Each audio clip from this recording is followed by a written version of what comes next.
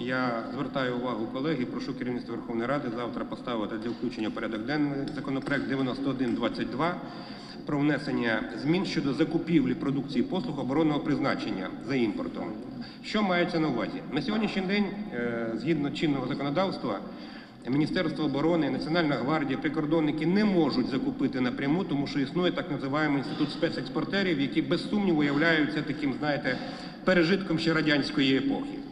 Саме тому, щоб спростити, зробити більш прозорими і прибрати корупційні ризики, ми пропонуємо в законопроекті 9122 е, дати можливість суб'єктам державного оборонного замовлення напряму без посередників е, закупати по імпорту е, товари військового призначення.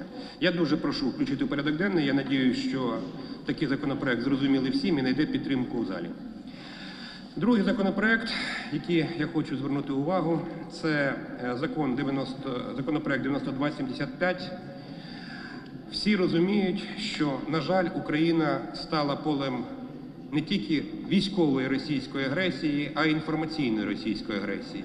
І, на жаль, якщо ми військову навалу росіян зупинили на крайньому сході, то інформаційна агресія, інформаційні диверсії проходять щоденно. Саме тому ми пропонуємо внести зміни до закону про санкції, про право виключно Верховної Раді в рамках закону про санкції дати можливість ініціювання ініціювати е, введення санкцій проти інформаційних ресурсів, які ведуть підривну діяльність проти нашої держави.